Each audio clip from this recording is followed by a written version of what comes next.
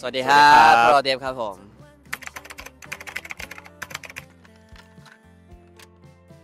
ก็ในส่วนของเนื้อหา ตอนนั้นผม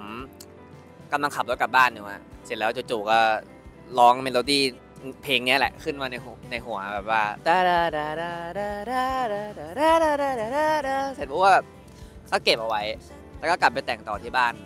ได้คำแรกมาคือท่อนท่อนพิวที่ร้องว่า ฟ้ามืดทีไรมันเหงาทุกคืนอะ อันเนี้ยเป็นเป็นกิมมิคหลักที่เริ่ม มันมันมีความรู้สึกแล้วว่าเพลงเนี้ยมันจะต้องฟังแล้วมันจะต้องโยกท่าไหนแบบเพลงนี้มันจะมี element ของความแบบ seventy เข้ามาค่อนข้างนิดนึงครับมีกีตาร์แบบกีตาร์ riff กีตาร์ผมก็ตั้งใจแบบใส่ความเป็นแบบมีความ surf rock อะเล่นสายบนบนๆแบบปังปังวังวังอะไรเงี้ยอะไรอย่างนั้นครับ